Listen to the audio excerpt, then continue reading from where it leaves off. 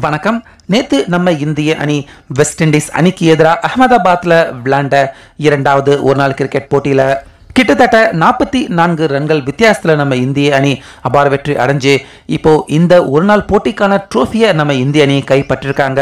இப்படி இருக்க நம்ம இந்திய அணியின் முன்னாள் கேப்டனான விராட் கோலி நேத்து ஆட்டம் முடிஞ்சதுக்கு அப்புறமா இந்த ஆட்டத்துல ரோஹித் சர்மா ஒரு கேப்டனா துணிச்சலான பல முடிவை அவர் எடுத்திருக்காரு.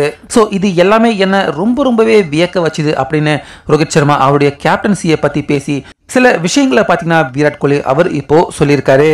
ஸோ இதில் கோலி அவர் சொல்லியிருந்த ஃபர்ஸ்ட் பாயிண்ட் என்ன அப்படின்னு பார்த்தீங்கன்னா ரிஷப் பண்ட் அவரை நம்ம இந்திய அணியிலேயோ இல்லை ஐபிஎல்ல கூட ஒரு ஓப்பனரா ரிஷப் பண்ட் அவரை யாருமே கற்பனை கூட செய்து பார்த்ததில்ல. ஆனா இரண்டாயிரத்தி பதினாறுல அண்டர் நைன்டீன் வேர்ல்டு கப்ல நம்ம இந்திய அணிக்காக ஏற்கனவே ரிஷப் பண்ட் பலமுறை அவர் ஓப்பனரா களம் இறங்கி நல்லா விளையாண்டிருக்காரு.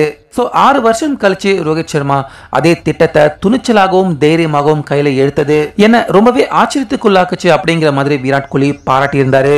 அதே போல வெஸ்ட் இண்டீஸ் அணி ரன்னை சேசிங் செய்துகிட்டே இருக்கிறப்போ எடுத்த ரன் குறைவான ஒரு ரன்னாக இருந்தாலும் ரோஹித் சர்மா அவருடைய போலிங் ரொட்டேஷன் ரொம்ப ரொம்பவே அற்புதமா இருந்தது அப்படின்னு விராட் கோலி சொல்லியிருக்காரு. குறிப்பா பிரசித் கிருஷ்ணா அவர் தொடர்ச்சியா நல்லா பந்து வீசி விக்கெட்டுகளை எடுத்தாலும் அவருக்கு ஒரு கண்டினியூவான ஸ்பெல்ல கொடுக்காம இடையில இடையில பிரசித் கிருஷ்ணா அவருக்கும் பிரேக் கொடுத்து மற்ற போலர்களை அற்புதமாகவே ரொட்டேஷன் செய்து ஃபீல்டிங் செட்டப்பும் ரோஹித் சர்மா ரொம்பவே நல்லா செட் பண்ணியிருந்தாரு.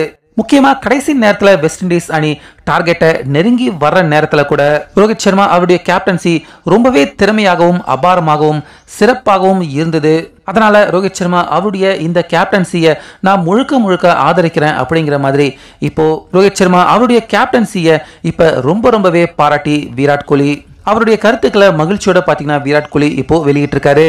ஸோ விராட் கோலி அவர் சொல்றது போலவே ரோஹித் சர்மா அவருடைய கேப்டன்சி முழுக்க முழுக்க உங்களுக்கும் திருப்தி கொடுத்திருக்கா? இல்ல ரோஹித் சர்மா அவருடைய கேப்டன்சி உங்களுக்கு திருப்தி அளிக்காத ஒரு கேப்டன்சியா இருக்கா? இதை பத்தி உங்களுடைய கருத்தை கமெண்ட்ல கண்டிப்பா சொல்லுங்க. மீண்டும் அடுத்த வீடியோவில் சந்திக்கலாம்.